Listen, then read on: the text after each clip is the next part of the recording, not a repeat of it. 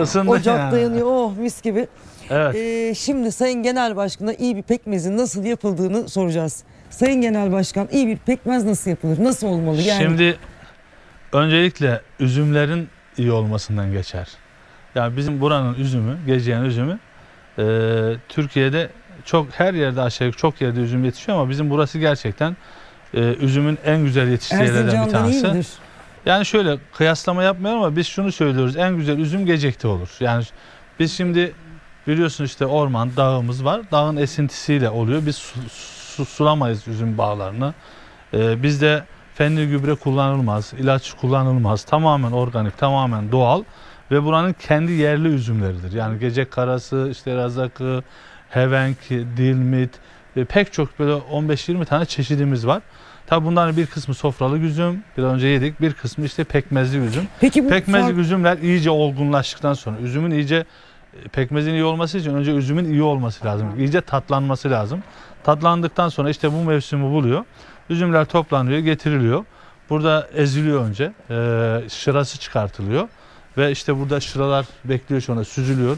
ben Süzgeçten bir geçiriliyor. şeyi merak ettim. Şimdi e, biraz önce yediğimizde üç tane farklı üzüm vardı. Bu e, pekmez için özellikle hani o e, O üzümler değil. yok renk Onlar olarak sofralık üzümler. ayrılıyor mu yoksa Yok her karışık renkten mı? üzüm olabilir. Her Her, renkten renkten olabilir. üzüm olabilir yani. Ee, önce e, işte şırası çıkıyor. Onlar bir gün bekliyorlar. Ee, bir gün bekledikten sonra e, özel e, pekmez toprağı var bizim köyümüzde bulunuyor. Oradan getiriyorsunuz ve ondan sonra süzülüyor. Süzüldükten sonra da işte burada bir gün dinlendikten sonra böyle kaynatılıyor. Ee, aşağı yukarı 6-7 saat bu böyle kaynıyor. Ee, dibi tutmaması için, yanmaması için de sürekli bunu böyle çevirmek gerekiyor.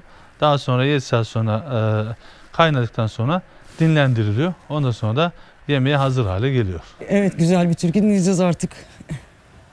Söğüdün erenleri çevirin gidenleri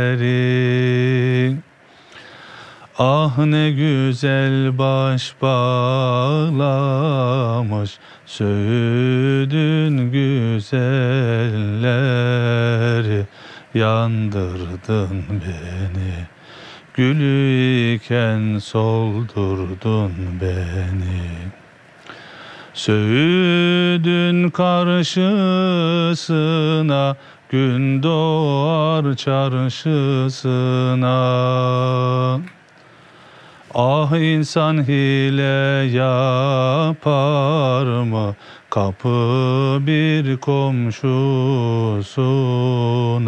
Yandırdın beni Gül iken soldurdun beni Vallahi Sayın Genel Başkan çok güzel söylediniz. Ağzınıza yüreğinize sağlık. Biz de kırmadığınız için teşekkür ediyoruz. Ee, pekmezin ilk e, hali O, o ezildikten Onu da sonra bir- şıra hali. Evet. Ezildikten sonra burada bir kaynatıyoruz kaynıyor önce. sonra mı oraya geçiyor? Tabii sonra Toprakla oraya. kaynatıyoruz. Tabii. Ha dinlendirilen yer burası. Dinlendirilen yer burası. Şunu da açar mısın? Bu olmaya yaklaşmış hali. Buraya yaklaşmış hali. Evet. Böyle. Biraz da- biraz Biraz bak biraz kaynayacak. biraz Oldukça sana- kıvamına gelecek Tabii değil mi? oldukça kıvamına geliyor. Evet. Evet.